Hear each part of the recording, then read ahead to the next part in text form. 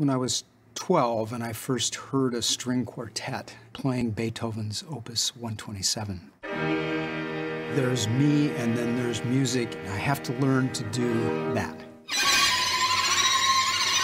I'm going to do that. Where's the Kronos Quartet?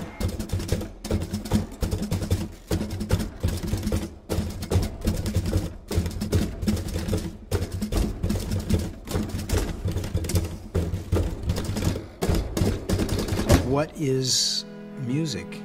You finish making a note and that's it. Where is it? Music is a place. Music is all about imagination. You have to play being yourself. One of the things about the Kronos that I like is that they get inside the music. The sound of two violins, a viola, and a cello is an amazing sound. It expresses something about life that no other sound I've ever heard does.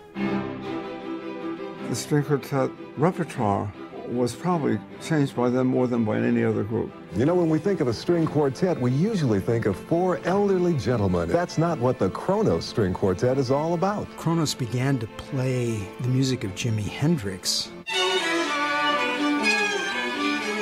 as a result of playing Stravinsky. We have not created the bulletproof piece of music that can wrap its arms around us, that it can protect children, it can protect families. I believe it exists in the universe because I can imagine it. Kronos is trying to play that piece. That's our job.